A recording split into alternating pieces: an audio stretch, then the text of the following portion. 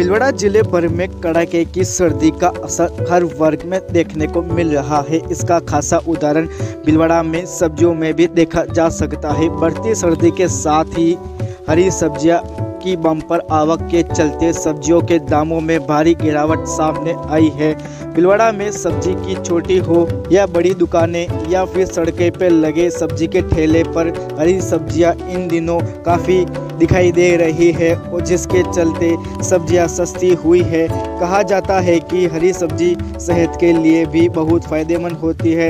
इन दिनों भिलवाड़ा शहर की महात्मा ज्योतिबा फूले, कृषि उपज मंडी और अन्य सब्ज़ी मंडियों में भी सब्जियों के दाम दस रुपये से लेकर बीस रुपये तक होने के कारण लोग इन्हें खरीदना पसंद कर रहे हैं। यूँ कहे तो लोड़ा शहर से ज़िले भर के लोगों का घरेलू बजट अब अच्छा होने वाला है।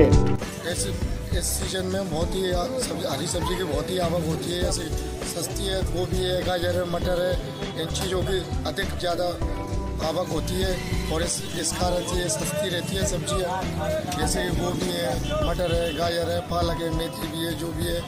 इस, और ज़्यादा आवक आने से ये सस्ती हैं सब्ज़ियाँ।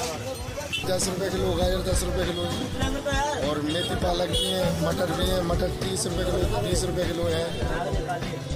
कई सब्ज़ियाँ जो अधिक आ रही हैं, जैसे कि टमाटर है, धनिया है, मिर्ची है दस रुपये किलो टमाटर है, जो अधिक अधिक पैदावार होने से सब्ज़ी की आवक मंडियों में ज़्यादा हो जाती है।